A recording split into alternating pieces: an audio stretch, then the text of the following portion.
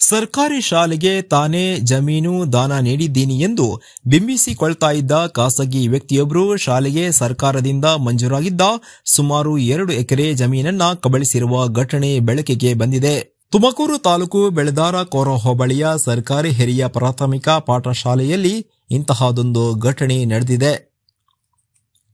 ಈ ಶಾಲೆ ಸಾವಿರದ ಒಂಬೈನೂರ ನಲವತ್ನಾಲ್ಕರಲ್ಲಿ ಸ್ಥಾಪನೆಯಾಗಿತ್ತು. ಗ್ರಾಮಸ್ಥರೆಲ್ಲ ಸೇರಿ ಈ ಶಾಲೆಯನ್ನ ಆರಂಭಿಸಿದ್ರು. ಸುಮಾರು ಹತ್ತು ವರ್ಷಗಳ ಕಾಲ ಇಷ್ಟೇ ಜಾಗದಲ್ಲಿ ಇರುತ್ತದೆ.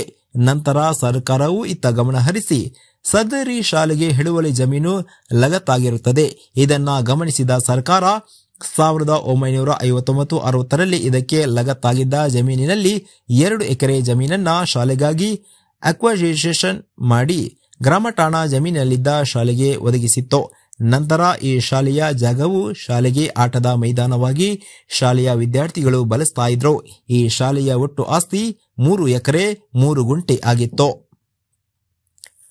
ಕಾಲಕ್ರಮೇಣ ಪಕ್ಕದಲ್ಲೇ ಅನುಭವದಲ್ಲಿದ್ದ ಜಮೀನಿನ ಮಾಲೀಕ ಈ ಜಾಗವನ್ನ ನಾನೇ ಶಾಲೆಗೆ ದಾನವಾಗಿ ನೀಡಿದ್ದೀನಿ ಎಂದು ಪ್ರಚಾರ ಮಾಡಿದ್ದಾನೆ. ಜನರು ಕೂಡ ಇದನ್ನ ನಂಬಿದ್ರು. ಈ ಸುಲ್ಲನ್ನ ನಂಬಿ ಇವರಿಗೆ ಹಾಗೂ ಇವರ ಮಕ್ಕಳಿಗೆ ಗ್ರಾಮಸ್ಥರು ಸನ್ಮಾನ ಕೂಡ ಮಾಡಿದ್ರು. ಸಾವಿರದ ಒಂಬೈನೂರ ತೊಂಬತ್ತೇಳು ತೊಂಬತ್ತೆಂಟರಲ್ಲಿ ಶಾಲೆಗೆ ಕಾಂಪೌಂಡ್ ನಿರ್ಮಾಣ ಮಾಡಲಾಗಿದೆ. ಕಾಂಪೌಂಡ್ ನಿರ್ಮಾಣ ಮಾಡುವಾಗ ಸುಮಾರು ಮೂವತ್ತ ಮೂರು ಅಡಿ ಅಗಲ ಹಾಗೂ ಮುನ್ನೂರ ಐವತ್ತು ಅಡಿ ಉದ್ದದಷ್ಟು ಜಾಗವನ್ನ ಸಂಚು ರೂಪಿಸಿ ಸುಮಾರು ಹತ್ತು ಗಂಟೆಯಷ್ಟು ಜಾಗವನ್ನ ಕಬಳಿಸಲಾಗಿತ್ತು. ಶಾಲೆಗೆ ಲಗತ್ತಾಗಿ ಎರಡ್ ಸಾವಿರದ ಹನ್ನೆರಡರಲ್ಲಿ ಇದೇ ಗ್ರಾಮದ ಮತ್ತೊಬ್ಬ ವ್ಯಕ್ತಿ ಚಂದ್ರಪ್ಪ ಎಂಬಾತ ಒಂದು ಕಲ್ಯಾಣ ಮಂಟಪ ನಿರ್ಮಾಣ ಮಾಡಿದ್ದಾನೆ. ಈತನಿಗೆ ಪಶ್ಚಿಮಕ್ಕೆ ಬಾಗಿಲನ್ನ ಇಡುವಂತೆ ಗ್ರಾಮ ಪಂಚಾಯತಿಯು ಅನುಮತಿ ನೀಡಿತ್ತು. ಆದರೆ ಇವರ ಅನುಮತಿಗೆ ವಿರುದ್ಧವಾಗಿ ಶಾಲೆಯ ಆಟದ ಮೈದಾನದ ಕಡೆ ಬಾಗಿಲನ್ನ ಇಟ್ಟುಕೊಂಡಿದ್ದು, ಶಾಲೆಯ ಆಟದ ಮೈದಾನವನ್ನ ವಾಹನ ನಿಲ್ದಾಣದಂತೆ ಬಳಸೋಕೆ ಆರಂಭ ಮಾಡಿದ್ದಾನೆ. ಇದೇ ಸಂದರ್ಭದಲ್ಲಿ ಶಾಲೆಗೆ ಎಚ್ಡಿಎಂಸಿ ಅಧ್ಯಕ್ಷರಾಗಿ ರಫೀಕ್ ಪಾಷಾ ಇವರನ್ನ ಆಯ್ಕೆ ಮಾಡಲಾಗಿತ್ತು. ರಫೀಕ್ ಇವರಿಗೆ ಶಾಲೆಯ ಆಟದ ಮೈದಾನವನ್ನ ಖಾಸಗಿ ವ್ಯಕ್ತಿಗಳು ಕಬಳಿಸಲು ಸಂಚು ಹೂಡಿರುವ ಬಗ್ಗೆ ಅನುಮಾನ ಮೂಡಿತ್ತು. ಹೀಗಾಗಿ ಮುಖ್ಯ ಶಿಕ್ಷಕರಿಗೆ ದಾಖಲೆಗಳ ಬಗ್ಗೆ ವಿಚಾರಿಸಿದಾಗ ಶಾಲೆಯಲ್ಲಿ ಯಾವುದೇ ದಾಖಲೆ ಇಲ್ಲ ಎನ್ನುವುದು ತಿಳಿದು ಬಂದಿದೆ. ಹೀಗಾಗಿ ರಫೀಕ್, ಪಾಷಾ ಮತ್ತು ಕೆಲವು ಗ್ರಾಮಸ್ಥರು ಇದೇ ವಿಷಯವಾಗಿ ಚರ್ಚೆ ಮಾಡಿ ಬೇಕಾದ ಎಲ್ಲ ದಾಖಲೆಗಳನ್ನ ಒಂದು ವರ್ಷಗಳ ಕಾಲ ಹುಡುಕಿ ಕಂದಾಯ ಇಲಾಖೆಯಿಂದ ಪಡೆದುಕೊಂಡಿದ್ದಾರೆ. ಇದೇ ವೇಳೆ ಈ ಭೂಮಿಯನ್ನ ಯಾರು ಶಾಲೆಗೆ ದಾನವಾಗಿ ನೀಡಿಲ್ಲ. ಸರ್ಕಾರವೇ ಅಕ್ವಿಜಿಷನ್ ಮಾಡಿ ಶಾಲೆಗೆ ನೀಡಿದೆ ಎನ್ನುವುದು ತಿಳಿದು ಬಂದಿದೆ.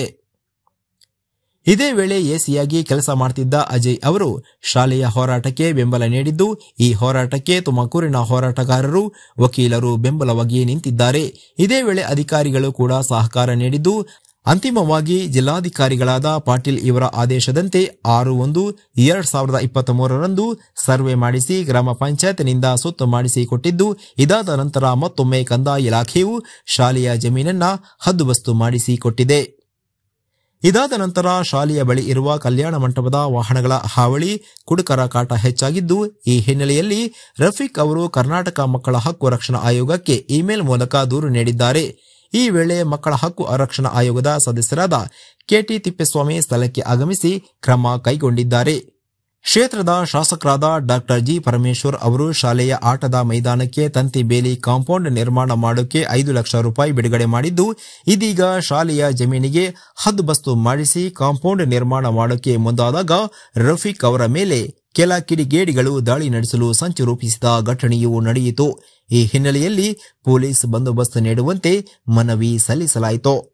ಮರುದಿನ ತಹಶೀಲ್ದಾರ್ ಮತ್ತು ಪೊಲೀಸ್ ಅಧಿಕಾರಿಗಳ ನೇತೃತ್ವದಲ್ಲಿ ಕಾಂಪೌಂಡ್ ನಿರ್ಮಾಣಕ್ಕೆ ಚಾಲನೆ ನೀಡಲಾಗಿದೆ.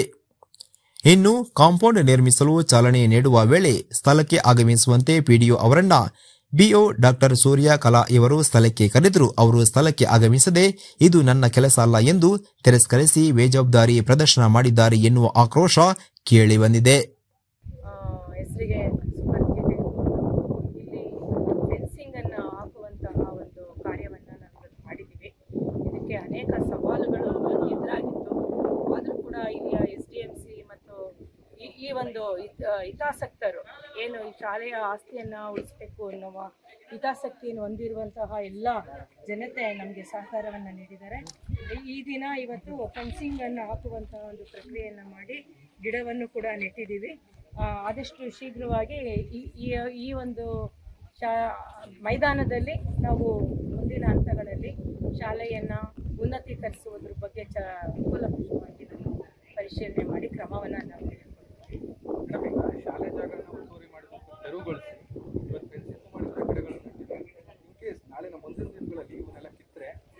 ಕಾರ್ಯಕ್ಷಮತೆ ಹೇಗಿರುತ್ತೆ?